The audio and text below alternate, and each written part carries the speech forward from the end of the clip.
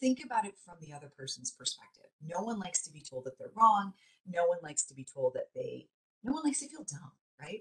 So, so treating people like, oh, it's just a matter of, you know, them seeing my side. That that's not how it, that's not, that's not how it is. and so when you have these conversations, first of all, it's not going to be a one and done conversation. It, it's not going to be like, we're going to sit down and have a heart to heart.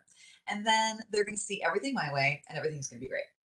No, um, people don't develop their beliefs overnight and they don't change their minds overnight. So it's unrealistic for you to think that if I just have this conversation with mom or dad, then they're going to see the light and things are going to be totally fine. It's not, it's a process, right? Um, so there's something, and I'd like to share if I can.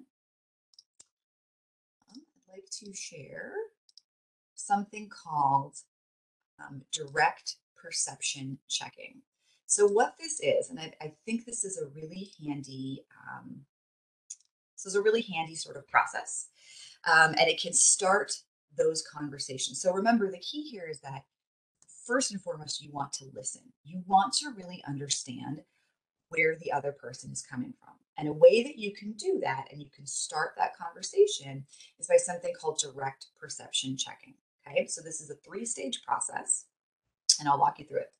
So, first and foremost, you describe to someone um, what you know about the situation. Okay. So, um, you're, you're using neutral language, you're not being emotional, you're not blaming, you're not judging, you're simply describing what you know about this other person and where they're at. So this might look like, you know, we've talked about it before, and I know that you maybe didn't get the flu shot this year, maybe you didn't get the COVID vaccine, and I know your children didn't actually get their recent MMR shot, right? Super neutral, just laying out the facts. That's step number one. Step number two is this idea that you present multiple interpretations for your perception, okay? So instead of saying like, it's that's because you hate vaccines, right? No, no, no. You're offering someone multiple op- options. So, you know, we've talked about it, and I know that you didn't get the COVID vaccine. But maybe it's because you don't really think vaccines are effective. Maybe you've read some things that show you that vaccines are harmful. You're offering at least two explanations for the situation, not just one, because then you're implying that you know why this is happening. By offering multiple interpretations, you're showing that you're willing to um, to admit that maybe you don't have all the information and you're giving people sort of a choice. Is it this or is it this or is it something maybe different altogether? So the last step is then clarification. Um, you're asking them to help you understand this this situation and to maybe clarify the way that you've been understanding it. And that can look as easy as i'd really like to understand your perspective. Can you please explain it to me? So you can see all of these three steps come in like three sentences. Like this is not a long, difficult thing. It's really important though that you do these steps in the right order. Because if you come at someone with your multiple interpretations first, then it can seem like you have all the answers and you're blaming and you're judging. So it's really important that you first neutrally describe what you think is happening. Number one, neutral terms, no judgment. And judgment, by the way, can come from your tone too. It does. It's not just in your words; it's the way you say them. I know that you didn't get the shot. Right? That's that's not a neutral tone, right? So really watch your nonverbals. Really watch the way that you're coming at this. Describe the situation. Offer multiple interpretations, and then ask them to explain. And that's where you're really opening up that conversation. Here's what it looks like to me. Please help me understand if that's the way that it really is. So this is just one kind of tool that you can use. Again, you're not going to solve the problem or change someone's mind in one conversation. That's not going to happen. But by starting this conversation, you can really open people up to not only helping you understand things better, but also to when people vocalize their beliefs and their ideas, it helps them understand it better as well.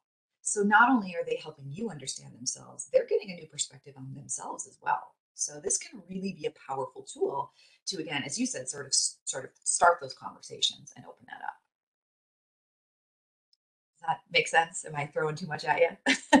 no, that's great. And I think that this is really helpful to give some of these steps that one can take in that conversation to make it a productive conversation without having that judgment um, or maybe some of those negative connotations that can go along with having difficult conversations. Yeah. There's another tool that you can use. So once you kind of understand where people are coming from, and um, again, like I said, when you when you ask someone to vocalize and to really explain um, why they're doing the things they do and why they believe the things that they believe, it can not only help you understand them better, which again, listening is like the most important piece of this whole thing, but it can also point out to them maybe places where they need to maybe rethink and reclarify and resolidify. So let me show you what I mean. There's something called motivational interviewing. Now, this is a an actual process. Um, psychologists often use it. Um, counselors often use it. People in the healthcare field use it a lot. This is the idea that you are um, asking someone to explain and vocalize their beliefs to you because oftentimes there's a gap between what we believe and how we behave.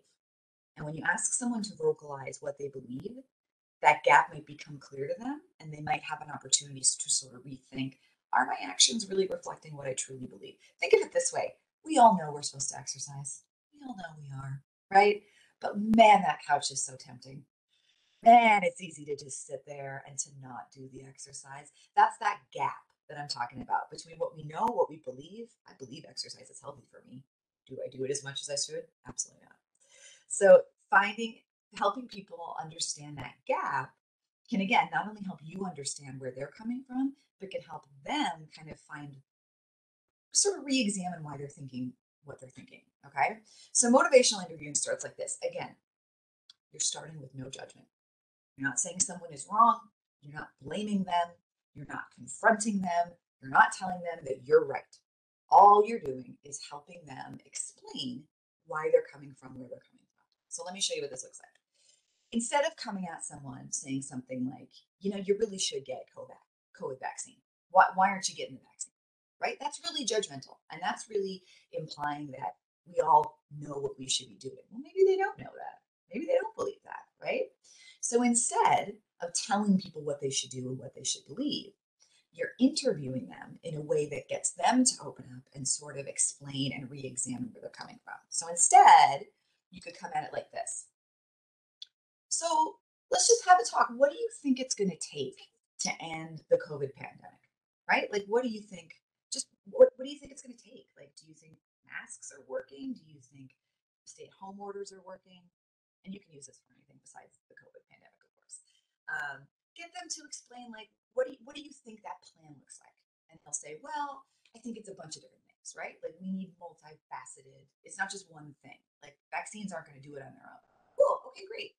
But it sounds like you think that vaccines are at least part of the solution right? So like how how big of a role do you think vaccines actually play? Like is it like 10% of the solution?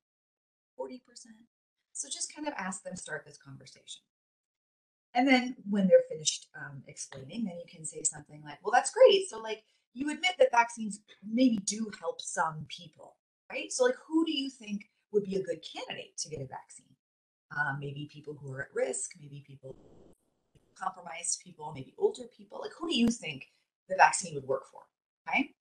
And then once they explain, then kind of saying, okay, so it sounds like, in your opinion, there's certain people who probably should get the vaccine why do you think that they should and like why do you think other people should?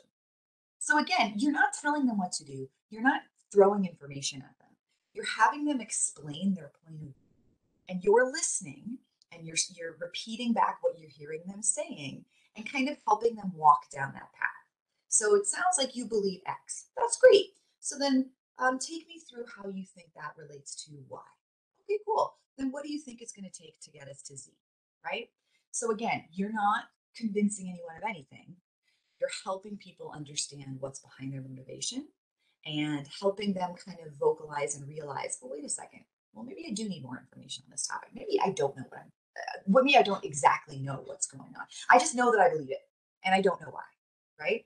So, to your point, this one conversation again is not going to change someone's whole attitude. It's not going to get them to run out and get a COVID vaccine right away.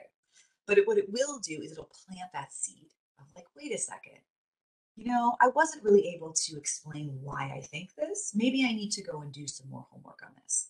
And once you get people started thinking about that, then they're taking that journey on their own. And it's not you telling them something, it's them taking control of their own opinions and their own behavior. And that we all know is the key to, to behavioral change. It has to be their idea, it can't be your idea. Again, if you've ever raised children or hung out with kids, right? Like just telling someone what to do or think is not going to work. Um, you have to make sure that it's their idea and that they're motivated to do it.